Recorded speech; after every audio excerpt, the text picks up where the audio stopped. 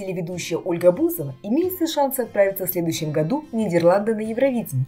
Пиар-директор Ольги Бузовой Антон Богославский заявил, что если от Первого канала поступит такое предложение, то артистка обязательно его рассмотрит. Звезда Дома-2 имеет все шансы отправиться на Евровидение 2020 в Нидерланды. По слухам, Бузова и в этом году могла стать участницей международного песенного конкурса. Претендентом был также и друг покойной певицы Юлии Началовой Александр Панайотов. Сама певица пока никак не отреагировала на предложение фаната. О ее реакции можно только догадываться.